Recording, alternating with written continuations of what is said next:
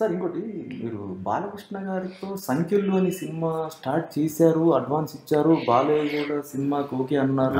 చిరంజీవి గారి ప్రాజెక్టే ఆగిపోయింది. మళ్ళీ బాలయ్యతో సినిమా ఎందుకు అసలు టేక్ ఆఫ్ కాలేదు?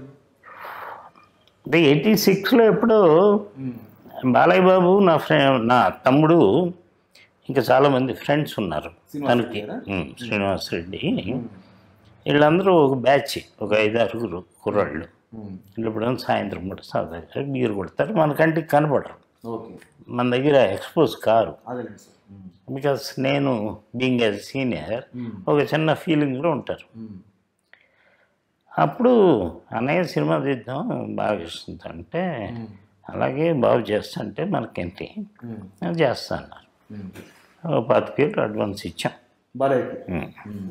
అప్పుడు ఆయన రెండు లక్షలు మూడు లక్షలు తీసుకునేవారు.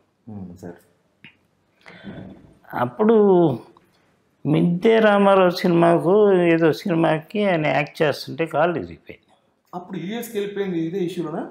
బాలయ్య యూఎస్కి వెళ్ళి ఆపరేషన్ ఎయిటీ ఫైవ్ ఎయిటీ సిక్స్లో వెళ్ళిపోయారు. ఓకే. ఆయన బర్త్డే కూడా రాలా హైదరాబాద్. అప్పటికి ఈయన సీఎం ఎన్టీఆర్. కరెక్ట్గా జూలై పది అంటే పదకొండు వచ్చారు.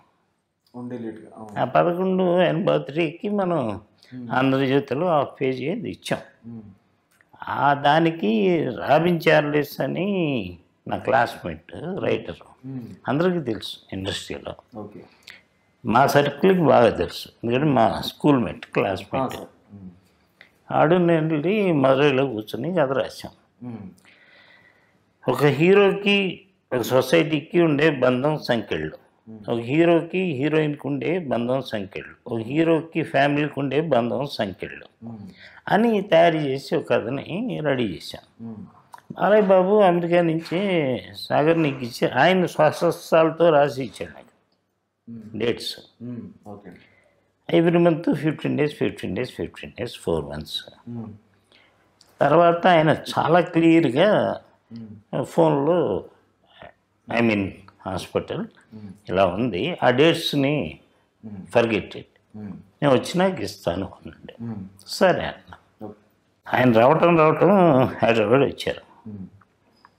అప్పుడు మనకి హైదరాబాద్ కొంచెం కొత్త కొత్త అంటే వస్తాం షూటింగ్ చేసుకుంటూ వెళ్తాం అంతే తప్ప ఇక్కడ స్టేయింగ్ ఉండదు. అప్పుడు ఎన్టీఆర్ గారు బాలకృష్ణ గారు మాటలు గొడవలు ఏదో జరిగినాయి. ఆయన వచ్చి ఇప్పుడు ఎవరెవరి దగ్గర అడ్వాన్స్ తీసుకున్నాం ఉమ్. సాగర్ శ్రీనివాస్ రెడ్డి. పిఏపి సుబ్బారావు అప్పారావు ఇట్లా ఏదో నాలుగు పేర్లు ఐదు పేర్లు చెప్పాడు. వాళ్ళందరికీ అడ్వాన్స్ లెటర్ ఇచ్చేయి. ఉమ్. నేను చెప్తా తర్వాత ఉమ్. తర్వాత ఎందుకు రిటర్న్ చేయాల్సిన పరిస్థితి ఏంటి? వాళ్ళ మధ్య గొడవ ఏంటి? గొడవ కాదు. ఆ. సినిమాలను వద్దు. వాడెవడు సాగరు. ఈడెవడు అన్నపూర్ణ బ్యానర్ అంటే సారీ పిఏపి అంటే ఆయన అంటే నాగేశ్వరరావు గారితో తీస్తారు. వాళ్ళకేంటి మనం చేసేది. సో వీళ్ళెవరు వద్దు నీకు నేను చెప్తా. అని నెక్స్ట్ నుంచి స్క్రీన్ ప్లే మారిపోయి దత్తు రాఘవేంద్ర గారు వాళ్ళు వీళ్ళు అందరూ వచ్చారు వచ్చేసి ఆయన ఇప్పుడు టెన్ ల్యాక్స్ హీరోని చేశారు ఓకే ఇంక మనమేం అడుగుతాం? ఆయన అందరికీ అడ్వాన్స్ లెటర్ ఇచ్చాడు. ఇది ఒక ఆబ్లిగేషన్ అంటే కదా సార్. బాలయ్యని ఖచ్చితంగా చేయాలి ఎన్టీఆర్ గారు కొన్ని ఆబ్లిగేషన్స్ పెట్టేవాళ్ళంట. హ్మ్. అదేమి అట్లాగేం ఉండదు. పెడితే చేసేస్తారా? ఇప్పుడు ఇదే ఎన్టీ రామారావు గారు బడి పంతులకు ముందు one and half year makeup వేయలా two years వేయలా. అందరిని పిలిచాడు. "ఆ, ఏంటి? ఎందుకు సినిమా తీయట్లే? అన్నాడు. సార్ ఇప్పుడు నా పరిస్థితి బాగాలేదు సార్ నా కూతురు పెళ్ళి అంటాడు దొంగ. ఇంకోడేదో చెప్తాడు. ఇంకోడేదో చెప్తాడు. ఈయనకి తెలిసిపోతాయి. వీడు దొంగ అడిది అది. అప్పుడు బడి పంతులు అనే సినిమాలో యాక్ట్ చేశారు. బడి పంతులు ముందే నేను తీసుకున్నాడు. దగ్గర దగ్గర లక్ష యాభై నుంచి రెండు లక్షలు తీసుకున్నాడు.